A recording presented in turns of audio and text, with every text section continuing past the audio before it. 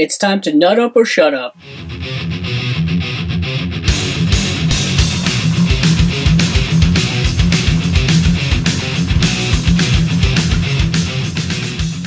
Zombieland Double Tap is directed by Ruben Fleischer and is starring Woody Harrelson, Jesse Eisenberg, Emma Stone, Abigail Breslin, Zoey Deutch, and Rosario Dawson. Before I go any further, I just want to say there will not be any plot spoilers in this review. This is the long-awaited sequel to Zombieland, and I say long-awaited sequel because the first film came out 10 years ago in 2009, and I kind of can't believe that.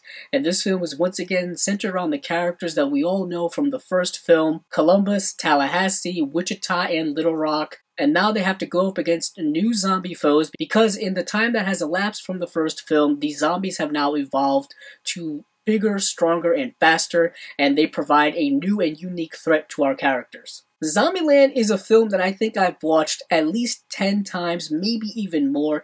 It is such an easy, fun, simple film that takes the zombie genre in a rather fun and less intellectual way. There's nothing really going on in the first film or even in the second film that I think requires any real heavy lifting. This is a horror comedy. The first film came out in 2009 when the zombie subgenre of horror was really starting to rise up and really starting to become really, really popular. Its popularity has since gone down since then, to the point now where I don't think very many people care too much when it comes to zombies, but this film I still think is really, really fun.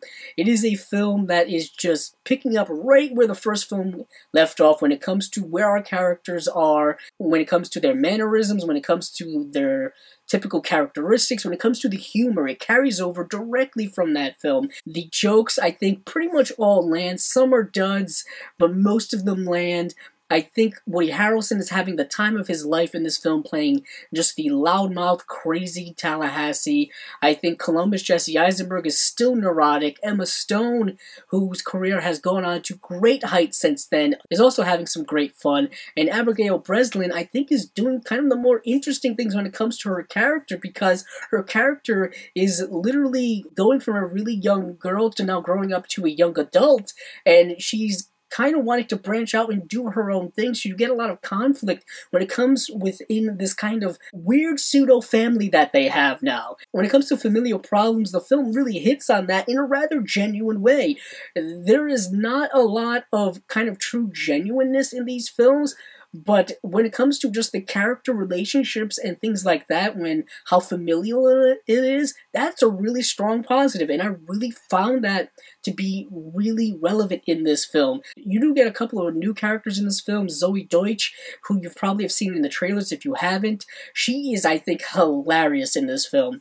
I don't know whether I'm just into kind of the simplicity of her humor or whatnot, or whether I'm just blinded by the fact that I'm just a big fan of her as an actress.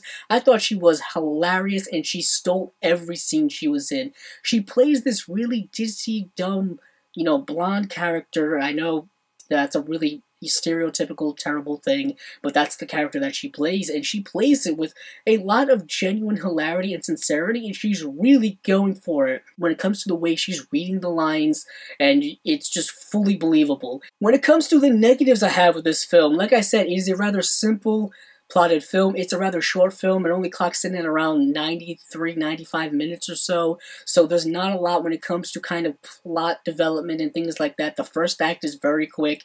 We get pretty much right into our main conflict and then the film kind of goes from there.